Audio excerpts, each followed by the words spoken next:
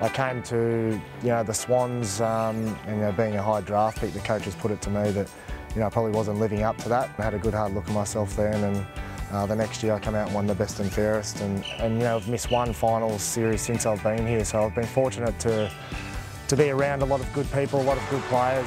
Now Hall's got it. Now McVeigh's got it. He might have done it. He has done it. To be able to win in 2012 is um, you know the best footy moment that I've had, and It. What a team. That culture, the Bloods. That's what it's all about.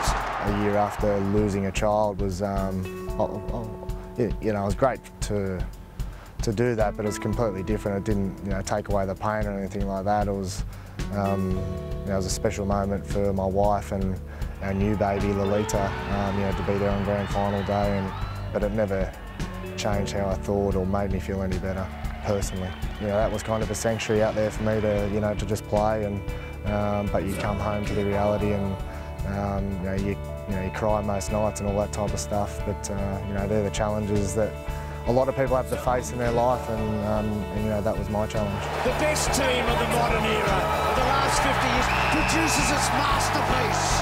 You go home, you think about it, you dream about it and, you know, be filthy on yourself, but look in the mirror and know that, you know, you've done it before and you can come back from it and dealt with a lot harder things than, you know, losing grand finals.